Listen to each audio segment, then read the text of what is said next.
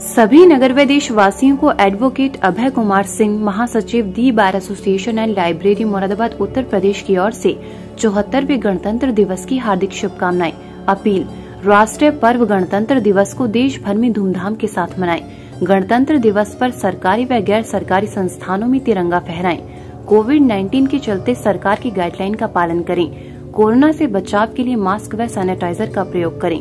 Police मित्र बन अपराध मिटाने में सहयोग करें। आपका नाम सर? मेरा नाम अभय कुमार सिंह है। सर दीवार एसोसिएशन एंड लाइब्रेरी की तरफ़ से आप चौहत्तरवें गणतंत्र दिवस पर क्या शुभकामना देना चाहेंगे?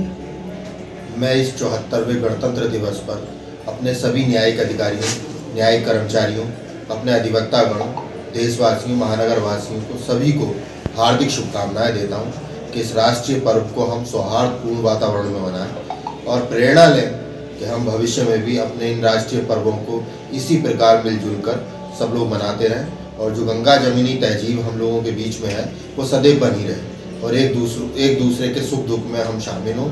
इन्हीं शुभकामनाओं के साथ में पुनः फिर से गणतंत्र दिवस की सभी को बहुत बहुत हार्दिक शुभकामनाएँ